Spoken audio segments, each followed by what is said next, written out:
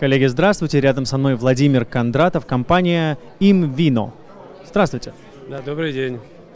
А, мы с вами уже общались, и когда-то, да, у нас были интересные моменты, что мы ждали-ждали, что вот-вот а, начнется онлайн-торговля вином. Вот хочется узнать у вас, как обстоит сейчас дело? А, ну, ситуация, в принципе, за год, я думаю, сильно не изменилась, но все в предвкушении, индустрия в предвкушении, потому что это необходимо делать, так как э, нужны современные подходы к торговле и технологии. То есть э, мы все так же предлагаем использовать наши российские наработки для того, чтобы создать э, пространство информационное, безопасное, контролируемое, для того, чтобы запустить онлайн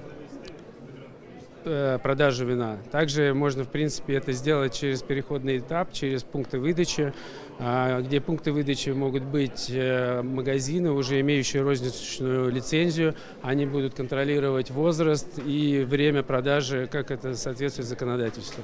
То есть еще раз, а, компания Имвина, мы имеем свой винный маркетплейс, агрегатор, свое мобильное приложение с технологиями искусственного интеллекта для распознания образов, э, этикеток. Это делают сейчас несколько приложений в мире. Мы учим эту нейросеть, э, постоянно развиваем ее. И мы имеем большую базу вин с описаниями, с рейтингами на нескольких языках. Мы имеем огромную базу, энциклопедию статей про вино для развития вина. То есть это все можно использовать как вместе, так и раздельно. Мы предлагаем интегрировать нас в экосистемы, которые сейчас успешно развиваются. Мы можем научить умных голосовых помощников, э, таких как там Алиса, Салют, э, стать сомелье, помогать людям развивать, э, ну, там, разбираться в вине, развивать винную культуру. Еще хочу заметить, что развитие винной культуры влияет на общее потребление алкогольных напитоков в стране, так как оно э, вином может вытеснять, э, ну, более, на мой взгляд, неблагородные напитки, такие как пиво, и крепкие напитки, такие как водка, которые потребляет э, много людей в нашей стране.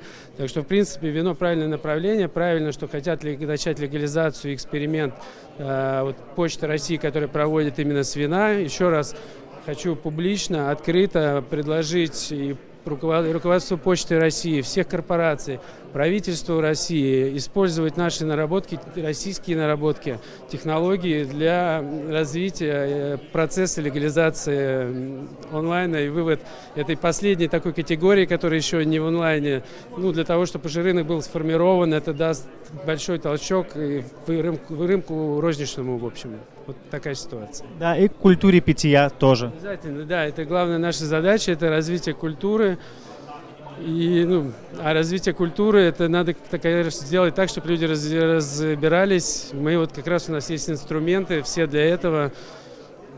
Пожалуйста, со всеми готовы к коллаборациям, взаимодействию, к любому сотрудничеству.